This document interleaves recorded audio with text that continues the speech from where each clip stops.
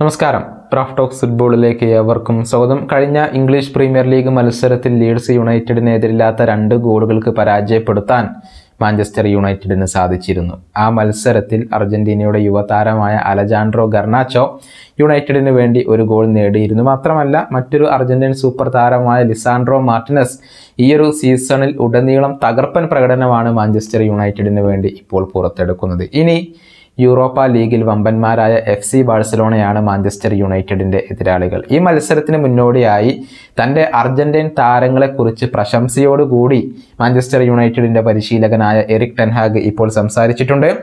ഗർണാച്ചോയെക്കുറിച്ച് ചില കാര്യങ്ങൾ അദ്ദേഹം പറഞ്ഞിട്ടുണ്ട്. അതിങ്ങനെയാണ്.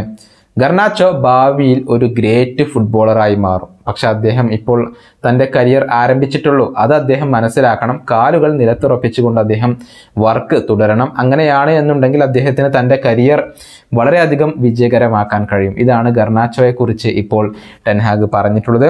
ലിസാൻഡ്രോ മാർട്ടിനസിനെ കുറിച്ച് അദ്ദേഹം പറഞ്ഞത് ഇങ്ങനെയാണ്. അദ്ദേഹത്തെ ആരാധകർ ബുച്ചർ അഥവാ കശാപ്പുകാരൻ എന്ന് വിളിക്കുന്നത് പോസിറ്റീവായിട്ടുള്ള ഒരു കാര്യമാണ്. വളരെ കഠിനമായ രൂപത്തിലാണ് അദ്ദേഹം കളിക്കുക. പക്ഷെ വൃത്തികെട്ട രൂപത്തിലല്ല. എല്ലാവർക്കും ലിസാൻഡ്രോയുടെ ആറ്റിറ്റ്യൂഡ് ഇഷ്ടമാണ്. ടീമിനകത്ത് ഒരു സ്പിരിറ്റ് തന്നെ അദ്ദേഹം ഇപ്പോൾ കൊണ്ടുവന്നിട്ടുണ്ട്. അദ്ദേഹത്തിന്റെ കൈവശം പന്തുണ്ടെങ്കിൽ അത് എങ്ങനെ ഉപയോഗപ്പെടുത്തണം എന്നുള്ളത് കൃത്യമായി അറിയുന്ന ഒരു വ്യക്തിയാണ് അദ്ദേഹം.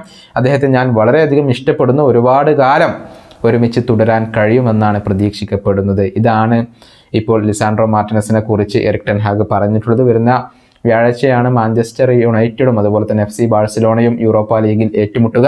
ഇന്ത്യൻ സമയം പതിനൊന്ന് പതിനഞ്ചിന് ബാഴ്സയുടെ മൈതാനമായ ക്യാമ്നോയിൽ വെച്ചാണ് ഈ ഒരു മത്സരം നടക്കുക. ഈ വീഡിയോ അവസാനിപ്പിക്കുന്നു. മറ്റൊരു കാണാം.